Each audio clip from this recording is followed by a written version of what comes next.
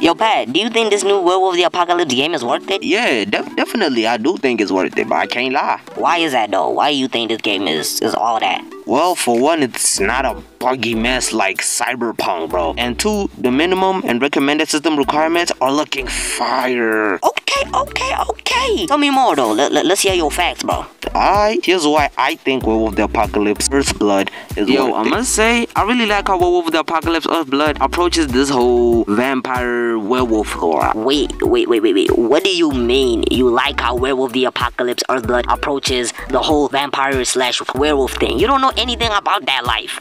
Yeah, you right. But what I'm saying, like what I was trying to say actually, is that Werewolf the Apocalypse Earthblood has like this thing called a rage meter, right? And once your rage meter gets full, you turn into a full-blown werewolf, bro. And you start killing everyone that's in your path, bro. It doesn't matter if it's friend, enemy, foe, whatever, bro. Your former high school teacher, if somebody catches you in your rage mode, man, you better believe somebody's gonna die, bro. I I heard this game is based on a tabletop RPG, bro. What what you think about that? Yeah, be, be, because it's based on a what you call it a tape R, tabletop RPG. Yeah, because it's based on that. The game has multiple endings, bro. And you know I'm always here for that, bro. You know, as to the replayability. So yeah, I'm down for that. Oh, Okay, now we got all that out of the way. Let's talk about what's really important, bro. How the game looks. Yeah, okay. I really like the character design, and what really gets me hyped is this game's pretty and somewhat dark art style, if you know what I mean. So what you're saying is that Werewolf the Apocalypse Earthblood is a game where you run around as some dude that can turn into werewolves? Yeah, actually there's multiple forms, not just one. There's the Homid form, the Lupus form, and the Crinos form. The Homid form is your human form. You know, you can talk to people, hack, push buttons, and you have a crossbow. And I don't know if it's just me, but a crossbow does kind of make you look like a wuss, bro. Next is the Lupus form. In this form, you play as a regular ass werewolf. But what's cool about this form is that you're very agile, fast, and you can crawl inside vents. So if, if that's your thing, so uh, go ahead, man. And finally is the Crinos form.